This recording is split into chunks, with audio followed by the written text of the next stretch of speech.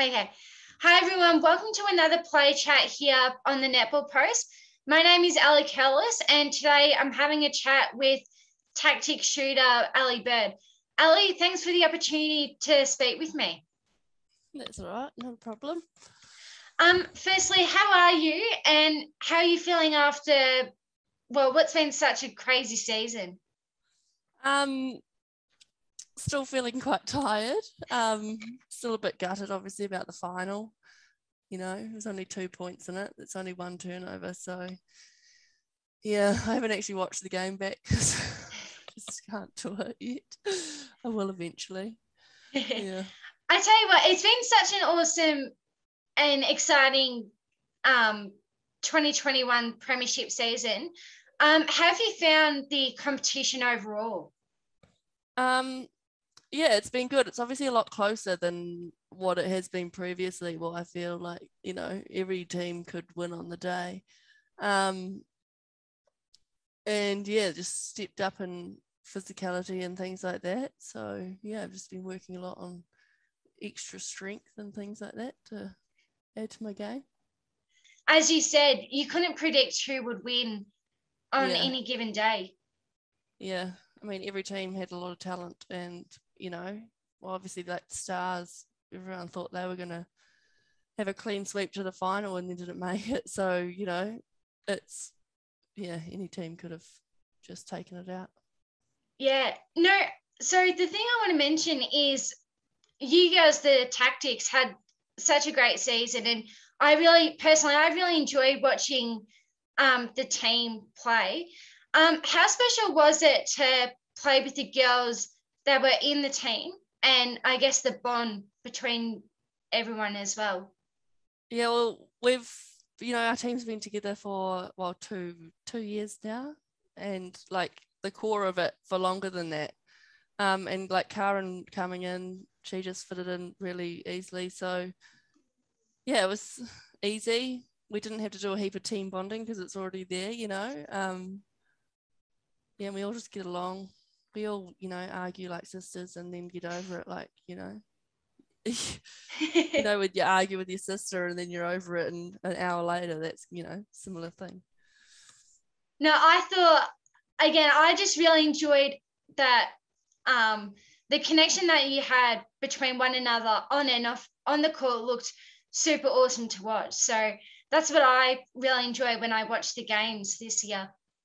Yeah, I think you know we've learned to have those hard conversations with each other. So when something's going wrong, we correct it quite quickly, and yeah, hope we just continue to grow. No, I'm sure I'm sure you and the girls will definitely do really well again next year. Um, I just wanted to mention about um quickly about last season because mostly it was a in the hub, of course. Um, and then obviously this year it was a normal home and away season.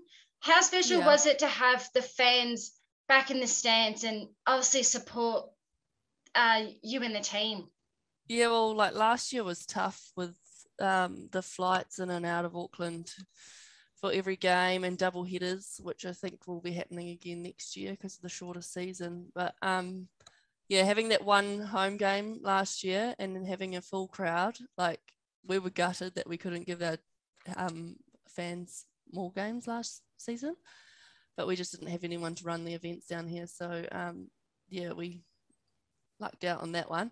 But this year, having what five Christchurch games and like the biggest crowds in ANZ Premiership, you know, it's really exciting and it's just great to give back to our fans because you know we always talk about like we are the strength of all like the collective, not just ourselves.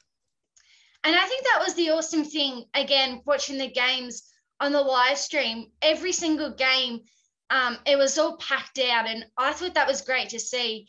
Um, not only, yeah, I thought it was great to watch actually as well, just seeing all the fans pack out the stadium. Yeah, and I think it helped us out because obviously our fans get quite loud. And then when we were going into like elimination final and versus the Steel with their big crowd, like even though they weren't supporting us as such. We were just used to playing in front of a heap of people and it not affecting us. So I think that definitely helped us when we were in that situation to push through. As a uh, professional athlete or player, how do you train for um, your games and I guess netball in general? Like over the off season, obviously we have to do well. You know, we are working, so we do our own kind of training. We link up where we can and do like running sessions together and stuff, but mainly self-driven. Um, and that just involves you know over the off season. Well, our um, sports site calls it the investment se- investment season.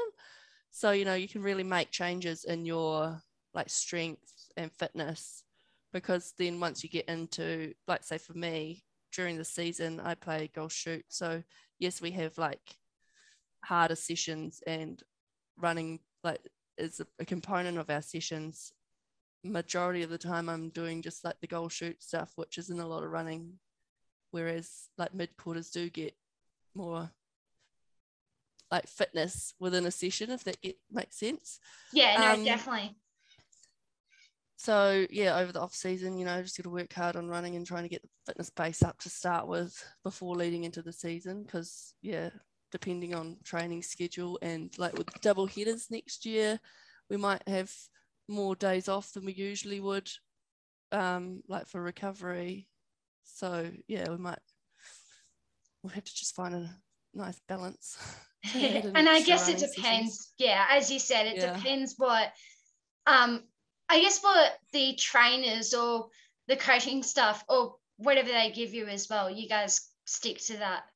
Yeah, yeah. Well, so we do majority of it like during the season we do uh, it's probably around 20 hours of like time where we're together where we have like uh say our big training days we have a weight session which takes about an hour then a meeting and then um two hours training depending on loading and then like a fitness block on the end of it. And then yeah it our week tapers. So the first day is always the biggest and it tapers down to uh, the day before a game we do a hour long training. And then yeah into the game and then we have two days off after a game. So yeah sounds intense i was gonna say. Yeah, yeah. it's good though. It's worth it though. Yeah. um I think you touched on it before, but what's the hardest part about being a player? Um, well, one thing that I found this year with working and playing, because you know it is semi-professional, um, just that balance between you know not doing too much work. Obviously, you want the extra money, and then making sure you're doing enough rest and recovery so that you you know can give your all in every training um, yeah, it's a fine balance. And there were probably times in the season where I was just exhausted. But um, yeah, does that answer your question? no, you answered it really well there. Um, now I want to mention I've really enjoyed watching you play since you've played in the ANZ Premiership. How do you calm yourself if you're having a tough game? Um, I mean, I feel like now I've sort of just got the hang of it and I do it naturally. Um, but like a couple of years ago, you know, when you have a bad shooting game or something like that, and just like focusing, uh, I guess it's just shifting your focus. Well, like we have a sports psychologist and they talk about red head, green head, and you know, like realizing when you're in the red, when you're, I don't know, your focus might not be where it's meant to be. Like, oh, I missed that shot, or you know, I'm getting bashed around in a circle or anything like that. And just bringing, like I said, just grounding yourself and like focusing on the next thing rather than what's already happened. Um, but yeah, I kind of do it naturally now. So, I mean, there was a few times that I got knocked over this season and I just get back up and keep going. Yeah. No, I like that. I like that strategy. And I think it's important to, again, have that support network um, to help you out when you're having a tough game as well. Yeah, yeah. I mean, it is really important. I mean, with my, I had like that concussion this year, and yeah. they were really helpful around that because, you know, there's always oh, it's just you know coming back from something like a head knock, it was quite like daunting. But yeah. Yeah, for sure. And now that they, I mean, now that, um, because obviously they talk about concussions so much, and it's important to, yeah, make sure you get right before and do the right thing before you get back on court. Yeah, yeah, definitely. Because we, we, I was told that well, we know less about our brains than we do about the floor of the ocean, and we know like nothing about the floor of the ocean. So you know, you don't want to risk it because you know brains gonna last you for your life. Yeah, no, hundred percent. Um, so I touched on it before about the competition in general. How has the ANZ Premiership helped you with your game? Um, oh, just all of it, really. You know, um, you know, I've been doing it what five years now, and my game's obviously shifted a lot. Um, yeah, just strengthened me. I don't know. Yeah, that's a hard question because yeah. no, know, that's my all right. Whole, my whole career is the ANZ Premiership, so the shift that I've made is thanks to that. No, that's a good no good answer there. Um, final two questions before we wrap up. Um, who inspires you as an athlete? It can be it can be anyone. Um, well, you know, I don't or inspire my brother is an athlete, so that's he's just been very helpful for me along my journey. Um, you know, he's quite wise. He's only 30, but he acts like he's way older than that. um, but yeah, so he's a plays rugby. Well, he's back here in New Zealand now, but um, yeah, just he's got good mental um, like advice. Yeah. No, that's awesome. And one final one. Um, what advice would you tell younger players or um, yeah, younger players in the generation? Um, just play as many sports as you can because you know, skills are transferable and, you know, just work hard, enjoy it. You know, if you, because I think that sometimes these days, like kids are made to train too much, like for what they're playing, you know, for what level they're playing. Um, yeah, if you just make sure you're still enjoying it at the end of the day, because that's what's important. We've got to enjoy what we're doing. No, I, I agree with that advice and definitely well said there. Well, Ellie, thank you so much for taking your time to have a chat with me. Congratulations on a wonderful season. Um, keep up the great work and can't wait to watch you play in season 2022. All right, thank you.